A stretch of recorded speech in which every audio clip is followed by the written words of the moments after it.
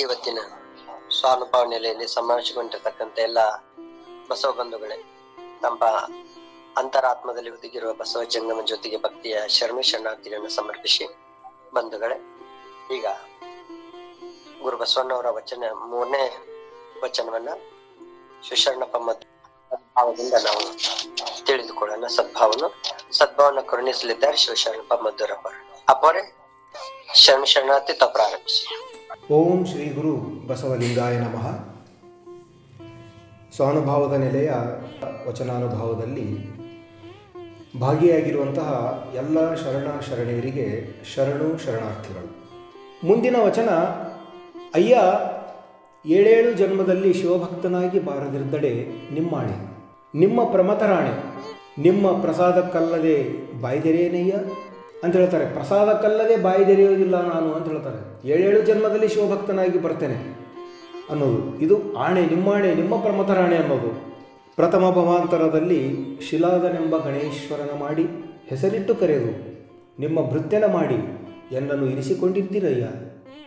ಎರಡನೆಯ ಭವಾಂತರದಲ್ಲಿ ಸ್ಕಂದನೆಂಬ ಗಣೇಶ್ವರನ ಮಾಡಿ ಹೆಸರಿಟ್ಟು ಕರೆದು, ನಿಮ್ಮ ಕಾರುಣ್ಯವ ಮಾಡಿ ಇರಿಸಿಕೊಂಡಿರ್ತೀರಯ್ಯ ಮೂರನೆಯ ಭವಾಂತರದಲ್ಲಿ ನೀಲಲೋಹಿತನೆಂಬ ಗಣೇಶ್ವರನ ಮಾಡಿ ಹೆಸರಿಟ್ಟು ಕರೆದು ನಿಮ್ಮ ಲೀಲಾ ವಿನೋದದಿಂದ ಇರಿಸಿಕೊಂಡಿದ್ದೀರಯ್ಯ. ನಾಲ್ಕನೆಯ ಭವಾಂತರದಲ್ಲಿ ಮನೋಹರನೆಂಬ ಗಣೇಶ್ವರನ ಮಾಡಿ ಹೆಸರಿಟ್ಟು ಕರೆದು ನಿಮ್ಮ ಮನಪ್ರೇರಕನಾಗಲೆಂದಿರಿಸಿಕೊಂಡಿದ್ದೀರಯ್ಯ. ಐದನೆಯ ಭವಾಂತರದಲ್ಲಿ ಕಾಲಲೋಚನನೆಂಬ ಗಣೇಶ್ವರನ ಮಾಡಿ ಹೆಸರಿಟ್ಟು ಕರೆದು ಸರ್ವಕಾಲ ಸಂಹಾರವ ಮಾಡಿಸುತ್ತಿರ್ದಿರಯ್ಯ ಆರನೆಯ ಭವಾಂತರದಲ್ಲಿ ವೃಷಭನೆಂಬ ಗಣೇಶ್ವರನ ಮಾಡಿ ಹೆಸರಿಟ್ಟು ಕರೆದು, ನಿಮಗೆ ಏರಲು ವಾಹನವಾಗಲು ಎಂದಿರಿಸಿಕೊಂಡಿರ್ದಿರಯ್ಯ ಏಳನೆಯ ಭವಾಂತರದಲ್ಲಿ ಬಸವದಣ್ಣಾಯಕನೆಂಬ ಗಣೇಶ್ವರನ ಮಾಡಿ ಹೆಸರಿಟ್ಟು ಕರೆದು, ನಿಮ್ಮ ಒಕ್ಕುದ ಮಿಕ್ಕುದಕ್ಕೆ ಯೋಗ್ಯನಾಗಲೆಂದು ಇರಿಸಿಕೊಂಡಿರ್ದಿರಯ್ಯ ಇದು ಕಾರಣ ಕೂಡಲ ಸಂಗಮ ದೇವ, ನೀವು ಭರಿಸಿದ ಭವಾಂತರದಲ್ಲಿ ನಾನು ಬರುತ್ತಿದ್ದೇನಯ್ಯ? ಬಸವಣ್ಣನವರ ಇನ್ನೊಂದು ವಚನ ನಮ್ಮ ಗಮನ ಸೆಳೀತದೆ. ಇಲ್ಲಿ ಬಸವಣ್ಣನವರು ಏಳೇಳು ಜನ್ಮದಲ್ಲಿ ಶಿವಭಕ್ತನಾಗಿ ಬರ್ತೇನೆ ಅಂತ ಹೇಳ್ತಾರೆ. ಇನ್ನೊಂದು ಕಡೆಗೆ ಹೇಳ್ತಾರೆ, ಅರಿಯದೆ ಜನನಿಯ ಜಠರದಲ್ಲಿ ಬಾರದ ಭವಂಗಳ ಭರಿಸಿದೆ ತಂದೆ, ಹುಟ್ಟಿತ್ತೇ ತಪ್ಪಾಯಿತೇ ಎಲೆ ಲಿಂಗವೇ, ಮುನ್ನ ಹುಟ್ಟಿದುದಕ್ಕೆ ಕೃಪೆ ಮಾಡು ಲಿಂಗವೇ, ಇನ್ನೂ ಹುಟ್ಟಿದಡೆ ಕೂಡಲ ಸಂಗಮ ದೇವ ನಿಮ್ಮಾಣೆ. ಒಂದು ಕಡೆಗೆ ನಾನು ಹುಟ್ಟಲ್ಲ ಅಂತ ಹೇಳ್ತಾ ಇದ್ದಾರೆ, ಇನ್ನೊಂದು ಕಡೆಗೆ ಹುಟ್ಟಿ ಬರ್ತೀನಿ ಅಂತ ಹೇಳ್ತಾ ಇದ್ದಾರೆ. ನಮಗೆ ಎರಡೂ ಮತ್ತೆ ವಿರೋಧಾಭಾಸ ಕಂಡು ಬರ್ತದೆ ಇಲ್ಲಿ. ಆದರೆ ವಿರೋಧಾಭಾಸ ಇಲ್ಲ ಇದರಲ್ಲಿ. ಸೂಕ್ಷ್ಮವಾಗಿ ನೋಡಬೇಕು ಇಲ್ಲಿ ನಾವು. ಇಲ್ಲಿ ಭವಿಯಾಗಿ ನಾನು ಬರೋದಿಲ್ಲ ಅಂತ ಹೇಳ್ತಾರೆ. ಮರಿವಿನಲ್ಲಿ ನಾನು ಇರೋದಿಲ್ಲ. ಮರಿವಿನ ಜನ್ಮ ನನಗೆ ಬೇಕಾಗಿಲ್ಲ. ಆದರೆ ಅರಿವಿನ ಜನ್ಮ. ಶಿವಭಕ್ತನಾಗುವುದು ಅಂದರೆ ಶಿವ ಅಂದರೆ ಅರಿವು. ಅರಿವಿನ ಭಕ್ತ ಅಂದರೆ ಅರಿವನ್ನು ಆಚಾರಕ್ಕೆ ಇಳಿಸುವುದು. ಆಚಾರಕ್ಕೆ ಇಳಿಸಿ ಅನುಭಾವಿಯಾಗುವುದು. ಗುರುಲಿಂಗ ಜಂಗಮ, ಏಕೀಕೃತ ಮಾಡಿ, ಪ್ರಸಾದಿಯಾಗಿ, ಪಾದೋದಕವಾಗಿ, ಮುಂದೆ ಎಲ್ಲೆಡೆಯಲ್ಲಿಯೂ ಆ ಲಿಂಗ ತತ್ವವನ್ನು ಅದನ್ನು ಪ್ರಚಾರ ಮಾಡಿ ಈ ಭವದ ದುಃಖವನ್ನು ಕಳೆಯೋದಕ್ಕೆ ಏನು ಪ್ರಯತ್ನ ಮಾಡ್ತಾರಲ್ಲ? ಅದು ಆಗಿ ನಾನು ಬರ್ತೇನೆ, ಆ ಅಂತಹ ಶಿವಭಕ್ತನಾಗಿ ನಾನು ಬರ್ತೇನೆ ಅಂತ ಹೇಳ್ತಾರೆ ಹೊರತು ಈ ಭವಿಯಾಗಿ ನಾನು ಬರೋದಿಲ್ಲ ಅಂತ ಹೇಳ್ತಾ ಇದ್ದಾರೆ. ಹಾಗಾಗಿ ಭವಿಯಾದವನಿಗೆ ಏನಾಗ್ತದೆ? ಆತ ಕರ್ಮಬಂಧನಕ್ಕೆ ಒಳಗಾಗಿರ್ತಾನೆ. ಹಾಗಾಗಿ ಆತ ವಲ್ಲ ಅಂದರೂ ಸಹಿತ ಆತನ, ಆತ ಕರ್ಮಬಂಧನದಿಂದ ತನ್ನ ಕರ್ಮಕ್ಕೆ ಅನುಸಾರವಾಗಿ ಆತ ಆ ಪ್ರಾರಬ್ಧ ಕರ್ಮವನ್ನು ಭೋಗಿಸೋದಕ್ಕೆ ಮತ್ತೆ ಮತ್ತೆ ಹುಟ್ಟಿ ಬರ್ತಾ ಇರ್ತಾನೆ ಆತ. ಆ ಒಂದು ಭವಚಕ್ರದಲ್ಲಿ ಸಿಲ್ಕೊಂಡಿರ್ತಾನೆ ಆತ. ಆದರೆ ತನ್ನ ತನ್ನ ತಾನರಿದಂತಹ ಭಕ್ತ, ಶಿವಭಕ್ತ, ಲಿಂಗಭಕ್ತ, ಲಿಂಗವಂತ ಆತ ಈ ಕರ್ಮದ ಒಂದು ಬಲೆಯಿಂದ ಇದರ ಒಂದು ಚಕ್ರದಿಂದ ಹೊರಗೆ ಬಂದಿರ್ತಾನೆ. ಆತ ಸ್ವತಂತ್ರನಾಗಿರ್ತಾನೆ. ಆತ ಸ್ವತಂತ್ರ ಶರಣ. ಆತ ಆತ ಹೇಳ್ತಾನೆ, ನಾನು ಬರ್ತೇನೆ ಶಿವಭಕ್ತನಾಗಿ ಅಂತ ಹೇಳ್ತಾನೆ. ನೋಡಿ, ಈ ಭವಿ ನಾನು ಮತ್ತೆ ಹಿಂಗೆ ಬರ್ತೇನೆ ಅಂತ ಹೇಳಕ್ಕೆ ಸಾಧ್ಯ ಇಲ್ಲ. ಆದರೆ ಭಕ್ತ ಮಾತ್ರ, ಅರಿವಿನ ಭಕ್ತ, ಆಚಾರದ ಭಕ್ತ, ಅನುಭವದ ಭಕ್ತ ಮಾತ್ರ ಈ ಮಾತುಗಳನ್ನು ಆಡೋದಕ್ಕೆ ಸಾಧ್ಯ. ನಾನು ಮತ್ತೆ ಬರ್ತೇನೆ ಹುಟ್ಟಿ ಅಂತ ಹೇಳ್ತಾರೆ. ಯಾಕಂದರೆ ಸ್ವತಂತ್ರ ಆತ, ಬೇಕಾದರೆ ಬರ್ತಾನೆ. ಇದು ನಿಮ್ಮಾಣೆ ನಿಮ್ಮ ಪ್ರಮತ ಪ್ರಮತರಾಣೆ ಅಂತ ಹೇಳ್ತಾರೆ. ಇನ್ನು, ಇದರಲ್ಲಿ ಪೌರಾಣಿಕವಾಗಿ ಆರು ಪೌರಾಣಿಕ ಕಥೆಗಳ ಒಂದು ಹಿನ್ನೆಲೆಯನ್ನು ಇಟ್ಕೊಂಡು ಬಸವಣ್ಣವ್ರು ಹೇಳ್ತಾ ಇದ್ದಾರೆ.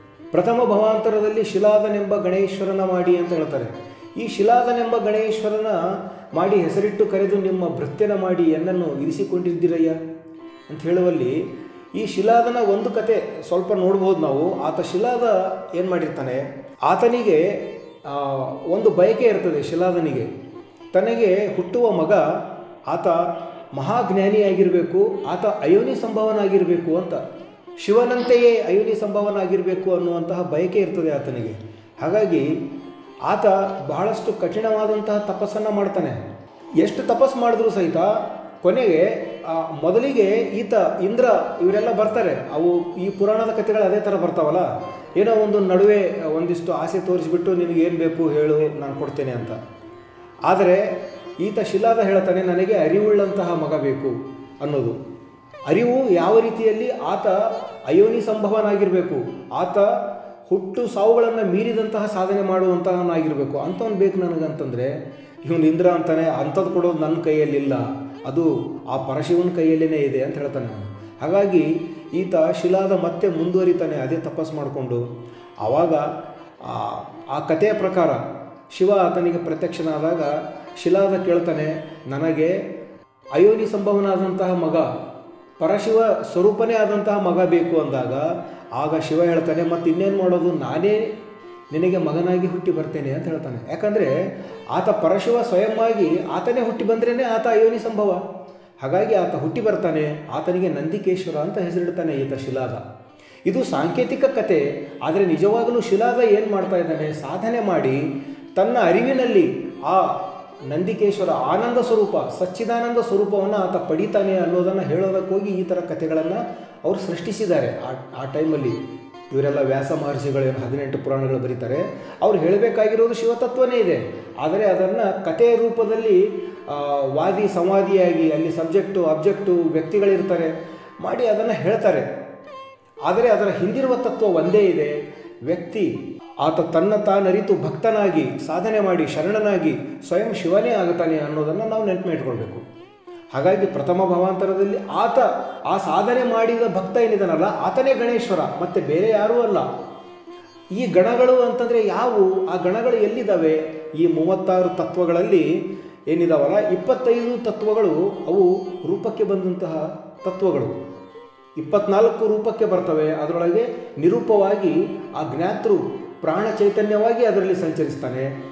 ಆ, ಅವು, ಆ ತತ್ವಗಳನ್ನು ಐದು ಐದರ ಗುಂಪಾಗಿ ನಾವು ಮಾಡ್ಬೋದು. ಐದು ಕರ್ಮೇಂದ್ರಿಯಗಳು, ಐದು ಜ್ಞಾನೇಂದ್ರಿಯಗಳು, ಐದು ವಿಷಯಗಳು, ಐದು ಪಂಚವಾಯುಗಳು. ಇಂತಹ ಗಣಗಳನ್ನು, ಆ ಗಣಗಳಲ್ಲಿರುವಂತಹ ಚೈತನ್ಯದ ಭಾವವನ್ನು ತನ್ನ ತಾನರಿತು ಆ ಭಾವ, ಆ ಚೈತನ್ಯ ಭಾವದಲ್ಲಿ ಈ ಎಲ್ಲ ಗಣಗಳಲ್ಲಿಯೂ ಸಹಿತ ಯಾರು ವಿಹರಿಸ್ತಾನೋ, ಈ ಎಲ್ಲ ಏನು ಟೀಮ್ ಇದೆ, ಐದು ಐದರದ್ದು ಒಂದು ಗಣ ಇದೆ ಇವುಗಳಲ್ಲಿ ಲೀಡರ್ ಆಗಿ ಟೀಮ್ ಲೀಡರ್ ಆಗಿ ಗಣೇಶ್ವರನಾಗಿ ಇರ್ತಾನೋ, ತನ್ನ ತಾನರಿದು ಅರಿವಿನಿಂದ ಯಾವ ರೀತಿಯಲ್ಲಿ?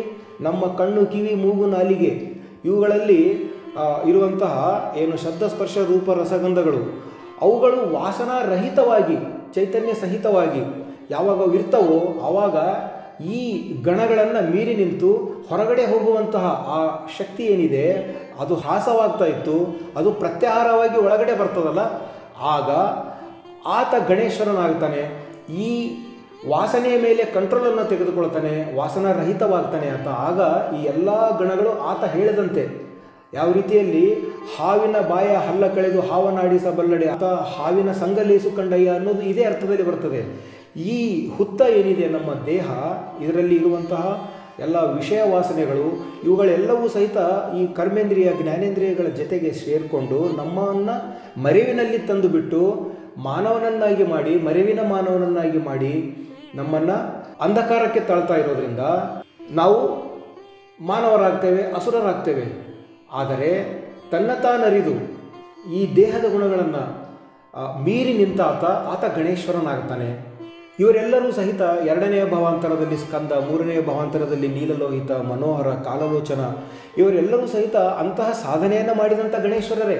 ಆದರೆ ಇಲ್ಲಿ ಬಸವಣ್ಣನವರು ನಾನು ಅದೇ ಪರಂಪರೆಯಲ್ಲಿ ಬರ್ತಾ ಇದ್ದೇನೆ ಅಂತ ಹೇಳ್ತಾ ಇದ್ದಾರೆ. ಆ ಪರಂಪರೆ ಹಿಂದಿನ ಜನ್ಮಾಂತರಗಳದ್ದು ಆಗಿರಬಹುದು. ಆದರೂ ಸಹಿತ ತಾನಾಗೆ ನಾನು ಗಣೇಶ್ವರನಾಗಿ, ಶಿವಭಕ್ತನಾಗಿ ಬರ್ತೇನೆ ಅಂತ ಹೇಳ್ತಾ ಇದ್ದಾರೆ. ಅಥವಾ ಇದೇ ಜನ್ಮದಲ್ಲಿಯೇ ಕಾಮ, ಕ್ರೋಧ ಮದಮೋಹ ಮತ್ಸರ ಎನ್ನುವಂತಹ ಈ ಆರು ಭವಗಳೇನಿದ್ದಾವೆ ಇವು ಭವಗಳೇ ಇವು. ಈ ಭವ ಒಂದರಿಂದ ಇನ್ನೊಂದಕ್ಕೆ ಭವ ಹೋಗೋದು ಭವಾಂತರ. ಅಂದರೆ ಕಾಮವನ್ನು ಜಯಿಸಿ, ಆಸೆಯನ್ನು ಜಯಿಸಿ, ನಾನು ದೇಹ ಭಾವದಲ್ಲಿ ಏನೇನು ಬೇಕು ಅಂತ ಏನು ಭಾವ ಇದೆಯಲ್ಲ, ಅದನ್ನು ಜಯಿಸಿ ನಾನು ಶಿವ ಸ್ವರೂಪನು ಅನ್ನೋದನ್ನು ನಾನು ಏನು ಸಾಧನೆ ಮಾಡ್ತೀನಲ್ಲ, ಅದು ಸಾಧನೆ ಮಾಡಬೇಕಾದ್ರೆ ನಾನು ಭೃತ್ಯನಾಗಬೇಕಾಗ್ತದೆ ನಾನು ದಾಸೋಹ ಮಾಡಬೇಕಾಗ್ತದೆ. ಅದು ಶಿಲಾದನೆಂಬ ಗಣೇಶ್ವರ ಮಾಡ್ತಾನೆ, ಅಲ್ಲಿ ಕಾಮವನ್ನು ಜಯಿಸ್ತಾನೆ ಅಂತ ಎರಡನೆಯ ಭವಾಂತರದಲ್ಲಿ ಸ್ಕಂದ ಏನು ಮಾಡ್ತಾನೆ, ಕಾರುಣ್ಯವನ್ನು ಮಾಡ್ಕೊ, ನಿಮ್ಮ ಕಾರುಣ್ಯವ ಮಾಡಿಸಿಕೊಂಡಿರ್ತೀರಯ್ಯ ಅಂದಾಗ ಕ್ರೋಧ ಏನಿದೆಯಲ್ಲ ಈ ಕ್ರೋಧ ಎನ್ನುವಂತಹ ಭಾವವನ್ನು ಗೆದ್ದು ಅದನ್ನು ಕರುಣೆಯನ್ನಾಗಿ ಪರಿವರ್ತಿಸಿಕೊಳ್ತಾನೆ. ಆವಾಗ ಆತ ಕಾರುಣ್ಯವಾಗ್ತಾನೆ. ಅದನ್ನು ಬಸವಣ್ಣನವರು ಸಾಂಕೇತಿಕವಾಗಿ ಹೇಳ್ತಾ ಇದ್ದಾರೆ. ಸ್ಕಂದನೆಂಬ ಗಣೇಶ್ವರನ ಮಾಡಿ ನಿಮ್ಮ ಹೆಸರಿಟ್ಟು ಕರೆದು ನಿಮ್ಮ ಕಾರುಣ್ಯವ ಮಾಡಿಸಿಕೊಂಡಿದ್ದೀರಯ್ಯ. ಎಲ್ಲೆಲ್ಲಿಯೂ ಕರುಣೆಯೇ. ದಯವಿಲ್ಲದ ಧರ್ಮವ ದೇವುದಯ್ಯ ಅಂತ ಹೇಳಿಬಿಟ್ಟು ಅಂತಹ ಕರುಣೆ ಉಕ್ಕಿ ಬರ್ತದೆ. ಅದು ಬಸವಣ್ಣನವರಲ್ಲಿ ಕಂಡು ಬರ್ತದೆ. ಹಾಗಾಗಿ ಈ ಅರಿಷಡ್ ವರ್ಗಗಳಂತಹ ಗುಣಗಳನ್ನು ಸಹಿತ ಅವುಗಳನ್ನು ಉದಾತ್ತೀಕರಿಸಿಕೊಂಡು ಅವುಗಳನ್ನು ನೆಗೆಟಿವ್ದಿಂದ ಪಾಸಿಟಿವ್ ಆಗಿ ಮಾಡುವಂತಹದ್ದೇನಿದೆಯಲ್ಲ, ಇದು ಭವಾಂತರವಾಗ್ತದೆ. ಇದೇ ಜನ್ಮದಲ್ಲಿಯೇ ವ್ಯಕ್ತಿಯ ಈ ಶಟಸ್ಥಲದ ಸಾಧನೆಯ ಮೂಲಕ, ಭಕ್ತ ಮಹೇಶ ಪ್ರಸಾದಿ ಪ್ರಾಣಲಿಂಗಿ ಶರಣ ಐಕ್ಯದ ಮೂಲಕ ಆತ ಆರು ಸ್ಥಳಗಳನ್ನು ಏರ್ತಾನೆ. ಇವೆಲ್ಲವುಗಳನ್ನು ಮೀರಿ ನಿಲ್ತಾನೆ ಆತ. ಮೀರಿ ನಿಲ್ಲೋದರಲ್ಲಿ ಕೊನೆಗೆ ಇಲ್ಲಿ ನೋಡಿ ಆರನೆಯ ಭವಾಂತರದಲ್ಲಿ ವೃಷಭನೆಂಬ ಗಣೇಶ್ವರನ ಮಾಡಿ ಹೆಸರಿಟ್ಟು ಕರೆದು ನಿಮಗೆ ಏರಲು ವಾಹನವಾಗಲೆಂದು ಇರಿಸಿಕೊಂಡಿರ್ತೀರಯ್ಯ. ಅಂತಹ ವೃಷಭನಾದಂತಹ ಆ ಗಣೇಶ್ವರನಿಗೆ ಯಾವಾಗಲೂ ಬೆಳಗಿನೊಳಗಣ ಮಹಾಬೆಳಗು ಶಿವಶಿವ ಹೃದಯ ಕರ್ಣಿಕಾ ಮಧ್ಯದಲ್ಲಿ, ಶತಪತ್ರ ಕರ್ಣಿಕಾ ಮಧ್ಯದಲ್ಲಿ, ಕೂಡಲ ಸಂಗಮ ದೇವನ ಬೆಳಗು, ಆತನ ಮಸ್ತಕದಲ್ಲಿ, ಆತನ ಸಹಸ್ರಾರ ಚಕ್ರದಲ್ಲಿ ಬೆಳಗುತ್ತಾ ಇರುವಂತಹದ್ದು ಚೈತನ್ಯ ಏನದು? ಅದು ಆ ಕೂಡಲ ಸಂಗಮ ದೇವನೇ, ಆ ಪರಶಿವನೇ. ಆತ ಈ ವೃಷವನ್ನ ನೆಂಬ ವಾಹನನ ಮೇಲೆ ಏನಂದರೆ ಆತ ಸವಾರಿಯಾಗಿ ಆತ ಕೂತ್ಕೊಂಡು ಹೋಗ್ತಾ ಇದ್ದಾನೆ. ಅಂದರೆ ಈತ ವೃಷಭ, ಈತ ಭಕ್ತ, ಈತ ಶರಣ ಆ ಚೈತನ್ಯದ, ಚೈತನ್ಯವನ್ನು ಹೊತ್ಕೊಂಡು ಹೋಗ್ತಾ ಇದ್ದಾನೆ. ಸ್ವಯಂ ಚೈತನ್ಯವೇ ಆಗಿದ್ದಾನೆ ಆತ. ಹಾಗಾಗಿ ಆತ ವೃಷಭನೆಂಬ ಗಣೇಶ್ವರ. ಇನ್ನು ಮುಂದೆ ಏಳನೆಯ ಭವಾಂತರದಲ್ಲಿ ಬಸವದಣ್ಣಾಯಕನೆಂಬ ಗಣೇಶ್ವರ. ಅದೇ ರೀತಿಯಲ್ಲಿ ಬಸವದಣ್ಣಾಯಕನೆಂಬ ಗಣೇಶ್ವರನ ನೀನೇ ಮಾಡಿದೆ ಅಂತ ಹೇಳ್ತಾ ಇದ್ದಾರೆ ಬಸವಣ್ಣವರು. ನೋಡಿ, ಬಸವಣ್ಣನವರು ನಿಜವಾಗಲೂ ಮಾಡಿದ್ದು ತಮ್ಮ ಅರಿವಿನಿಂದ ತಾವೇ ಆಗ್ತಾರೆ, ಅದು ತಮ್ಮಿಂದ ತಾವಾದರಲ್ಲದೆ. ಅವರು ಸ್ವಯಂ ಸಿದ್ಧರು ಬಸವಣ್ಣನವರು. ಆದರೂ ಸಹಿತ ಹೇಳ್ತಿದ್ದಾರೆ ನೀನೇ ಮಾಡಿದೆ ನನಗೆ ಅಂತ. ಯಾಕಂದರೆ, ಮಾಡಿದೇನೆಂಬುದು ಮನದಲ್ಲಿ ಇಲ್ಲ ಅವರಿಗೆ. ನಾನು ಅನ್ನೋದೇ ಇಲ್ಲ ಅಂದಮೇಲೆ ಮತ್ತಿನ್ನು ಮಾಡೋರು ಯಾರು? ನೀನೇ ನೀನೇ ಮಾಡಿದೆ ನನಗೆ ಅಂತ ಹೇಳುವಂತಹದ್ದು ಬಸವಣ್ಣನವರ ಅರಿವು. ಅದು ಯಾವ ರೀತಿಯಲ್ಲಿ ಪ್ರಸಾದೀಕರಣ ಉಂಟಿದೆ ಅಂದರೆ, ನಿಮ್ಮ ಒಕ್ಕುದ ಮಿಕ್ಕುದಕ್ಕೆ ಯೋಗ್ಯನಾಗಲೆಂದು ಇರಿಸಿಕೊಂಡಿರ್ತೀರಯ್ಯ ಯಾಕೆ ನೀವು ನನಗೆ ಈಗ ಈ ಏಳನೇ ಭಾವಾಂತರದಲ್ಲಿ ಗಣೇಶನನ್ನಾಗಿ ಮಾಡಿ ಒಕ್ಕುದ ಮಿಕ್ಕುದು ಕೊಡ್ತಾ ಇದ್ದೀರಂದರೆ ಪ್ರಸಾದಿ ಆಗೋದಕ್ಕೆ ಪ್ರಸಾದಿ ಆಗೋದಕ್ಕೆ ಯೋಗ್ಯನಾಗಿ ಇರೋದಕ್ಕೆ ನೀನು ನನ್ನನ್ನು ಇರಿಸಿಕೊಂಡಿದ್ದೆ. ಹೀಗಾಗಿ ನೀನು ಭರಿಸಿದ ಭಾವಾಂತರದಲ್ಲಿ ನಾನು ಬರ್ತೇನೆ ಅಂತ ಹೇಳ್ತಾರೆ ಬಸವಣ್ಣನವರು. ಅಂದರೆ ಇಲ್ಲಿ ಪ್ರಸಾದಿ ಆಗಬೇಕಾದ್ರೆ ಅಂತಂದರೆ ಒಕ್ಕುದ ಮಿಕ್ಕುದನ್ನು ತೆಗೆದುಕೊಳ್ಳುವಾಗ ನಾವು ನಾನೆಂಬ ಭಾವದಲ್ಲಿ ಇದ್ದಾಗ ನಾವು ಏನು ಮಾಡ್ತೇವೆ? ನನಗೆ ಮೊದಲು ಬೇಕಂತ ತೊಗೊಳ್ತೀನಿ ನಾನು. ಯಾವಾಗಲಾದರೂ ನೋಡಿ ನನಗೆ ಬೇಕು ಅನ್ನೋದಿರುತ್ತೆ. ಯಾಕಂದರೆ ನನಗೆ ಸಿಗ್ತದೋ ಇಲ್ಲೋ ಬೇರೆಯವ್ರು ತೊಗೊಂಡ್ಬಿಟ್ರೆ ಅನ್ನೋದು. ಪ್ರಸಾದಿ ಆದಾತ ಪ್ರಸಾದ ಭಾವ ಅಳವಟ್ಟಾತ ಏನು ಮಾಡ್ತಾನೆ? ಮೊದಲು ಏನು ಮಾಡ್ತಾನೆ? ಬೇರೆಯವರಿಗೆ ಕೊಡ್ತಾನೆ ಒಂದು ಸ್ವಲ್ಪ. ತಾನು ಗಳಿಸಿದ್ರಲ್ಲಿ. ಆವಾಗ ಬೇರೆಯವರಿಗೆ ಕೊಡೋದು ಜಂಗಮಕ್ಕೆ ಅರ್ಪಣೆ ಆಗ್ತದೆ. ಎಲ್ಲೆಡೆಯಲ್ಲಿ ಇರುವಂತಹ ಜೀವ ಚೈತನ್ಯ ಜಂಗಮ ಅಂದರೆ ಒಬ್ಬ ವ್ಯಕ್ತಿಗೆ ಕೊಡಬೇಕು ನಾನು ಅಂತ ಇಲ್ಲ. ಯಾವುದಾದ್ರೂ ಯಾವುದಾದ್ರೂ ಒಂದು ಪ್ರಾಣಿಗೆ ಹಸಿದಿರುವಂಥ ಪ್ರಾಣಿಗೆ ಕೊಟ್ಟರೂ ಸಹಿತ ಅದು ಸಲ್ಲಿಸಿದ ಹಾಗೆಯೇ. ಒಬ್ಬರಿಗೆ ಕೊಟ್ಟು ಆಮೇಲೆ ನಾನು ತಗೊಳ್ಬಹುದು. ಕೊಟ್ಟ ಮೇಲೆ ಉಳಿದದ್ದನ್ನು ನಾನು ತಗೊಳ್ತೇನೆ ಅನ್ನುವಂಥ ಭಾವದಲ್ಲಿ ಇದ್ದಾಗ ನಾನು ಅನ್ನೋದು ಶೂನ್ಯವಾಗಿರ್ತದೆ ಅಲ್ಲಿ. ನಾನು ಅನ್ನೋದು ಶೂನ್ಯವಾಗೋದೇ ಶೂನ್ಯ ಸಂಪಾದನೆ, ಆತನೇ ಪ್ರಸಾದಿ ಆಗ್ತಾನೆ. ನಾನು ಅನ್ನುವಂತಹದ್ದು ಯಾವ ರೀತಿಯಲ್ಲಿ ಆತ ಮೂರು ತನುತ್ರಯಗಳಲ್ಲಿ, ತನು ಮನ ಮತ್ತು ಭಾವ ಈ ಮೂರದರಲ್ಲಿಯೂ ಸಹಿತ ನಾನು ಅನ್ನೋದಿರೋದು ಏನಿರ್ತದಲ್ಲ, ಅದು ಶೂನ್ಯವಾಗಬೇಕು. ಯಾವಾಗ ಶೂನ್ಯವಾಗ್ತದೆ ಅಂದಾಗ ಅದು ಕೊಟ್ಟಾಗ. ತನು ಮನ ಮತ್ತು ಭಾವ ಯಾರಿಗೆ ಕೊಡ್ತಾನೆ ಆತ ಅಂದರೆ ಆ ನಿತ್ಯ ನಿರಂಜನ ಪರಂಜ್ಯೋತಿ ವಸ್ತು ಉಪದೇಶವ ಕೊಟ್ಟು ಗುರುವಾದ ಅಂತಹ ಗುರು ಸ್ವರೂಪ. ಆತ ಉಪದೇಶ ಕೊಟ್ಟು ಗುರುವಾಗ್ತಾನೆ ಅಂದರೆ ಸುಮ್ಮನೆ ಉಪದೇಶ ಕೊಟ್ಟು ಗುರುವಾಗಿರೋದಿಲ್ಲ ಗುರುವಾಗುವಂತಹ ಅರ್ಹತೆಯನ್ನು ಗಳಿಸ್ಕೊಂಡಿರ್ತಾನೆ ಆತ. ತನ್ನ ಅರಿವೇ ಗುರುವಾಗಿ, ಆಚಾರವೇ ಲಿಂಗವಾಗಿ, ಅನುಭವವೇ ಜಂಗಮವಾದಂತಹ ರಿಸಲ್ಟ್ ಏನಿದೆಯಲ್ಲ ಆಗ ಆತ ಪ್ರಸಾದಿಯಾಗಿರ್ತಾನೆ, ಆತ ಸಂಚರಿಸ್ತಾನೆ ಪಾದೋದಕವಾಗಿ. ಆತ ಗುರುವಾಗ್ತಾನೆ, ಅಂತಹ ಗುರು ಉಪದೇಶ ಕೊಟ್ಟು ಗುರುವಾಗ್ತಾನೆ. ಆತ ಕರಸ್ಥಲಕ್ಕೆ ಲಿಂಗವನ್ನು ಕೊಟ್ಟು ಅರಿವನ್ನು ಮೂಡಿಸ್ತಾನೆ, ಅರಿವಿನ ಕುರುಹಾಗಿ ಲಿಂಗ ಕೊಡ್ತಾನೆ. ಈ ಪ್ರಪಂಚವೇನಿದೆ, ಇದರಲ್ಲಿ ಇರುವಂತಹ ತಾದಾತ್ಮ್ಯವನ್ನು ಹೊಂದುತ್ತಾ ಇರ್ತೀವಿ ನಾವು, ನಾಮರೂಪಕ್ಕೆ ಒಳಗಾಗಿ, ನಾನು, ನೀನು ಎನ್ನುವಂತಹ ಭಿನ್ನ ವೇದ್ಯಪ್ರದವಾದಂತಹ ಮನಕ್ಕೆ ಒಳಗಾಗಿ ವಿಷಯ ವಾಸನೆಗೆ ಒಳಗಾಗಿ ಪ್ರಪಂಚದ ಜೊತೆಗೆ ನಾನು ಹಸರವಾದ ಪ್ರಪಂಚದ ಜೊತೆಗೆ ತಾದಾತ್ಮ್ಯ ಹೊಂದಿ, ನಾನು ಆಸೆ ಆಮಿಷಗಳಿಗೆ, ಅರಿಷಡ್ವರ್ಗಗಳಿಗೆ, ಅಷ್ಟಮದಂಗಳಿಗೆ ಒಳಗಾಗಿ ಬಳಲ್ತಾ ಇರ್ತೀನಲ್ಲ ಅಂಥ ಹಸರವಾದ ಪ್ರಪಂಚವನ್ನು ಅಳಿದು ಅದು ಅದಕ್ಕೆ ವ್ಯಾಮೋಹಗೊಳ್ಳದೆ, ಅದರಲ್ಲಿ ಮೋಹಗೊಳ್ಳದೆ ತನ್ನ ಸ್ವರೂಪ ಜ್ಞಾನದಿಂದ ಎಲ್ಲೆಡೆಯಲ್ಲಿಯೂ ಶಿವಚೈತನ್ಯವನ್ನು ಕಂಡಾಗ, ನಾನು ನೀನೆಂಬ ಭಿನ್ನ ಭಾವ ಅಳೆದು ಹೋದಾಗ, ಆವಾಗ ಎಲ್ಲವೂ ಒಂದೇ ಕಂಡಾಗ, ಕೊಡೋದು ಯಾರಿಗೆ ಕೊಡ್ತೇನೆ ನಾನು? ಅದೇ ಶಿವಚೈತನ್ಯಕ್ಕೆ ಕೊಡ್ತಾ ಇದ್ದೇನೆ. ಗಳಿಸ್ತಾ ಇದ್ದಾನೆ ಯಾರು? ಅದೇ ಶಿವನೇ ಗಳಿಸ್ತಾ ಇದ್ದಾನೆ. ತನ್ನ, ತನಗೆ ತಾನೇ ಮಾಡಿಕೊಂಡ ಎನ್ನುವ ಹಾಗೆ ಆ ಭಾವದಲ್ಲಿ ಬರೋದ್ರಿಂದ ಆತ ಪ್ರಪಂಚವನ್ನು ಅಳಿತಾನೆ. ಪ್ರಪಂಚ ಎದುರಿಗೆ ಕಾಣ್ತಾ ಇರ್ತದೆ. ಆದರೆ ಆತ ಪ್ರಪಂಚಕ್ಕೆ ಒಳಗಾಗೋದಿಲ್ಲ ಆತ ಪ್ರಪಂಚವನ್ನು ಮೀರಿ ನಿಲ್ತಾನೆ. ಆಗ ಅಂತಹ ಪ್ರಪಂಚವನ್ನು ಅಳಿದು ಅಲ್ಲಿ ದಾಸೋಹವ ಮಾಡಿಸಿಕೊಂಡು ಅಲ್ಲಿ ಪ್ರಸಾದವನ್ನು ಸ್ವೀಕರಿಸ್ತಾನಲ್ಲ. ಅದು ಆತ ಸ್ವೀಕರಿಸುವಾತನೇ ಜಂಗಮ. ಸ್ವಯಂವಾಗಿ ಸ್ವೀಕರಿಸ್ತಾನೆ. ಬರೀ ಪ್ರಸಾದ ಅಂದರೆ ಊಟ ಅಷ್ಟೇ ಅಲ್ಲ. ಸ್ವೀಕರಿಸುವಂತಹದ್ದು ಎಲ್ಲವೂ ಕಷ್ಟ ಸುಖಗಳೇ ಆಗಲಿ ಸಮಾನವಾಗಿ ಸ್ವೀಕರಿಸ್ತಾನೆ. ಪ್ರಸಾದದಲ್ಲಿ ರುಚಿ ನೋಡದೆ ಅದನ್ನು ಸ್ವೀಕರಿಸ್ತಾನೆ ಸಮಾನಾಂತರವಾಗಿ. ಪ್ರತಿಯೊಂದರಲ್ಲಿ ಬೇಕೆನ್ನೆನು ಬೇಡೆನ್ನೆನು ಉರಿ ಬರಲಿ, ಸಿರಿ ಬರಲಿ ಎಲ್ಲವನ್ನ ಸಮಾನಾಂತರವಾಗಿ ಸ್ವೀಕರಿಸಿದಾಗ ಅದು ದಾಸ, ಅದು ಪ್ರಸಾದವಾಗ್ತದೆ. ಆತ ಸ್ವಯಂವಾಗಿ ಜಂಗಮವಾಗಿರ್ತಾನೆ. ತಾನೂ ಜಂಗಮವಾಗ್ತಾನೆ. ಕೊಟ್ಟದ್ದೂ ಸಹಿತ ಜಂಗಮಕ್ಕೆ, ತೆಗೆದುಕೊಂಡದ್ದು ಸಹಿತ ಜಂಗಮಕ್ಕೆ ಆಗ್ತದೆ. ತಾನೇ ಸ್ವಯಂ ಸ್ವೀಕರಿಸಿದಾಗಲೂ ಸಹಿತ. ಹಾಗಾಗಿ ಇಂತಿ ಗುರುಲಿಂಗ ಜಂಗಮ ಇವು ಒಂದೇ ಅಲ್ಲದೆ ಭಿನ್ನವಿಲ್ಲ. ಈ ಗುರುಲಿಂಗ ಜಂಗಮಕ್ಕೆ, ಈ ಮೂರಕ್ಕೆ ಮೂರನಿತ್ತು, ಮೂರನೊಂದು ಮಾಡಬಲ್ಲಡೆ ಆತ ಪ್ರಸಾದ ಕಾಯನಯ್ಯ. ಆತ ಪ್ರಸಾದ ಕಾಯನಯ್ಯ ಕೂಡಲ ಸಂಗಮ ದೇವ ಅಂತ ಹೇಳ್ತಾರೆ ಒಂದು ಕಡೆ ಬಸವಣ್ಣವರು. ಅಂತಹ ಪ್ರಸಾದ ಕಾಯ ಆಗಬೇಕಾದ್ರೆ ಈ ಗುರುಲಿಂಗ ಜಂಗಮ ಮೂರಕ್ಕೆ ಗುರುವಿಗೆ ತನು, ಲಿಂಗಕ್ಕೆ ಮನ, ಜಂಗಮಕ್ಕೆ ಭಾವ, ಧನ ಧನ ಅಂತ ಅನ್ನೋದು ಏನು ಅಟ್ಯಾಚ್ಮೆಂಟ್ ಇರ್ತದಲ್ಲ ಅದು ಹಸರವಾದ ಪ್ರಪಂಚ, ಅದನ್ನು ಅಳಿದು ಅದನ್ನು ಅರ್ಪಣ ಭಾವದಲ್ಲಿ ನಿಂತುಕೊಳ್ತಾನೆ. ಅರ್ಪಿಸಿದಾಗ ಆತ ಪ್ರಸಾದಿ ಆಗ್ತಾನೆ ಪರ್ಫೆಕ್ಟ್ ಆಗ್ತಾನೆ ಆತ. ಇನ್ನು ಮುಂದೆ ಆತ ಚಲಾವಣೆಯಲ್ಲಿರುವ ನಾಣ್ಯ ಆತ ಈ ಟಂಕಸಾಲೆಯಲ್ಲಿ ಕರ್ತಾರನ ಕಮ್ಮಟದಲ್ಲಿ ಇಲ್ಲಿ ಸಲ್ತಾನೆ ಆತ. ಆವಾಗ ಆತ ಅಲ್ಲಿಯೂ ಸಲ್ಲುವಂತಹ ಪ್ರಸಾದಿಯಾಗ್ತಾನೆ. ಸಲ್ತಾನೆ ಸಲ್ಲೋದ್ರ ಜೊತೆಗೆ ಸಂಚರಿಸ್ತಾನೆ ಆತ ಪಾದೋದಕವಾಗಿ. ಇನ್ನು ಅರುಹಿನಲ್ಲಿ ಪ್ರಸಾದವನ್ನು ಇಲ್ಲಿ ನೆಲೆಗೊಳಿಸಿದಂಥವರೇ ಇವರೆಲ್ಲವರು ಈ ಏಳು ಪ್ರಥಮ ಭವಾಂತರದಲ್ಲಿ ಶಿಲಾದನಿಂದ ಹಿಡಿದು ಬಸವದಣ್ಣಾಯಕರು ಏಳನೆಯ ಇದರವರೆಗೆ ಬರಬೇಕಾದ್ರೂ ಸಹಿತ ಇವರೆಲ್ಲರೂ ಸಹಿತ ಆ ಅರುವಿನಲ್ಲಿಯೇ ಪ್ರಸಾದವನ್ನು ನೆಲೆಗಳಿಸಿಕೊಂಡವರು. ಹಾಗಾಗಿ ಎಲ್ಲವೂ ಪ್ರಸಾದೀಕರಣಗೊಳ್ತದೆ ಅವರಿಗೆ.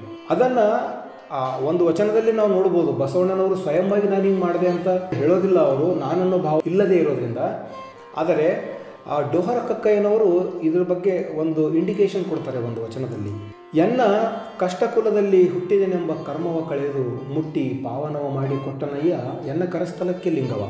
ಆ ಲಿಂಗ ಬಂದು ಸೋಂಕಲೊಡನೆ ಎನ್ನ ಸರ್ವಾಂಗದ ಅವಲೋಹ ಒಳೆಯುತ್ತಯ್ಯ? ಎನ್ನ ತನುವಿನಲ್ಲಿ ಗುರುವ ನೆಲೆಗೊಳಿಸಿದ? ಎನ್ನ ಮನದಲ್ಲಿ ಜಂಗಮವ ನೆಲೆಗೊಳಿಸಿದ? ಎನ್ನ ಅರುಹಿನಲ್ಲಿ ಪ್ರಸಾದವ ನೆಲೆಗೊಳಿಸಿದ?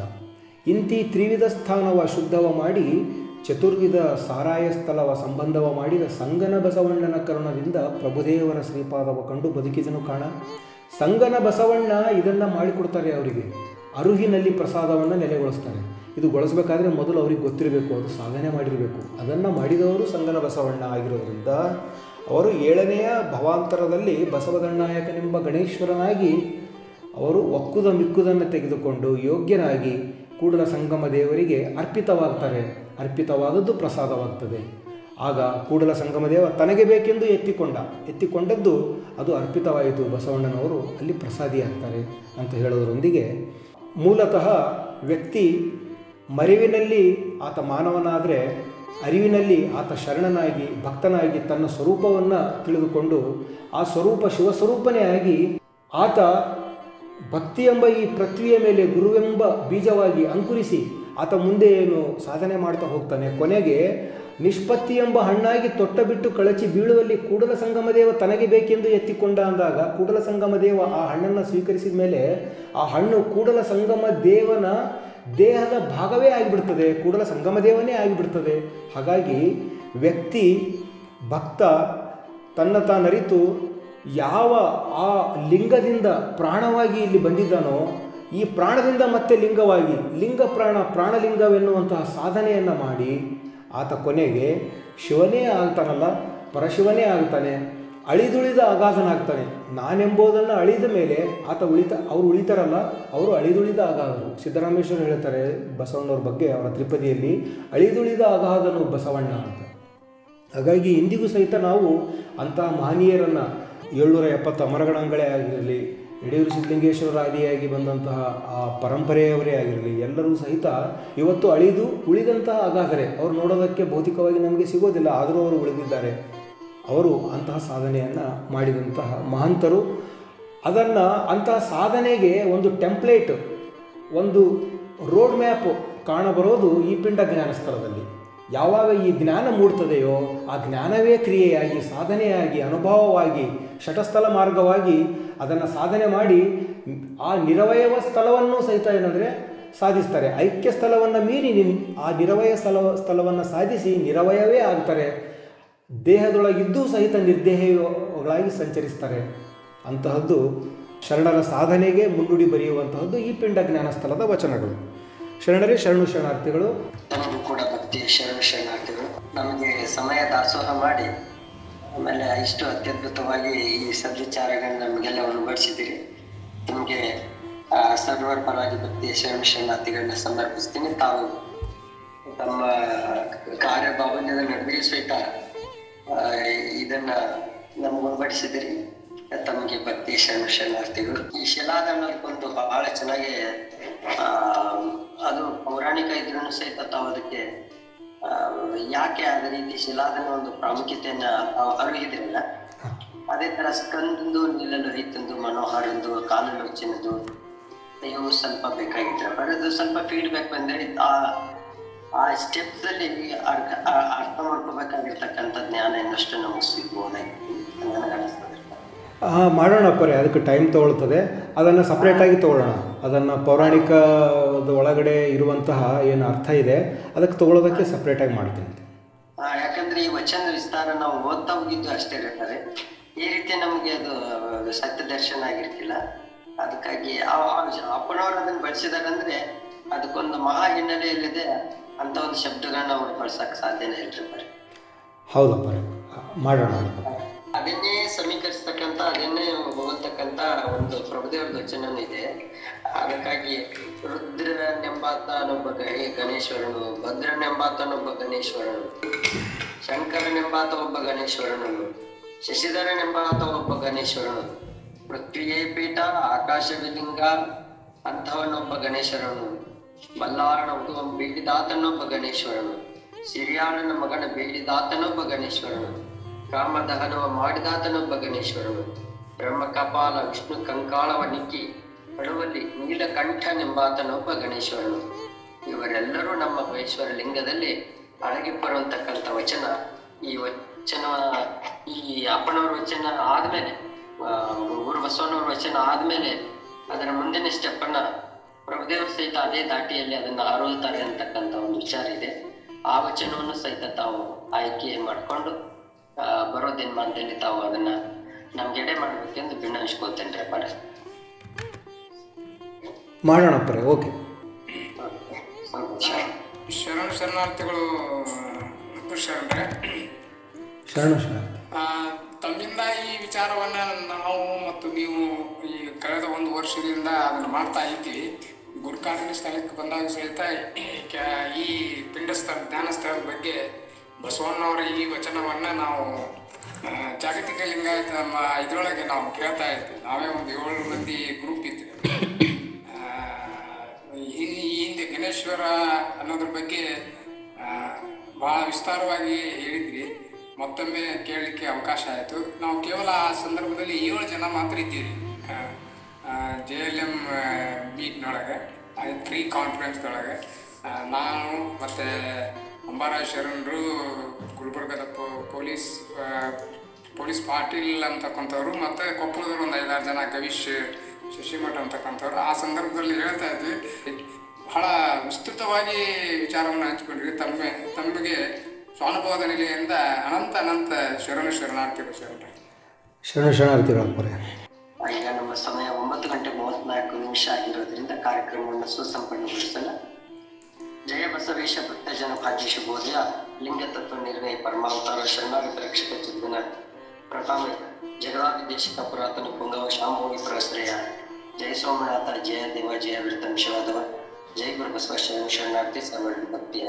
ಶರಣು ಶರಣಾರ್ಥಿ ಎಲ್ಲರಿಗೂ ಶರಣ ಶರಣಾರ್ಥಿ ಶರಣ ಶರಣ